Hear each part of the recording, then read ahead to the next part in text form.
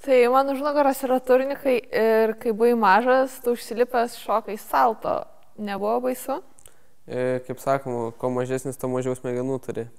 Tai tuo momentu tiesiog treneris sako, nenori pabandyti, sakau gerai ir tiesiog dariau ir patiko, kaip padariau ir tiesiog adrenalinas sukėlė e, geros emocijos.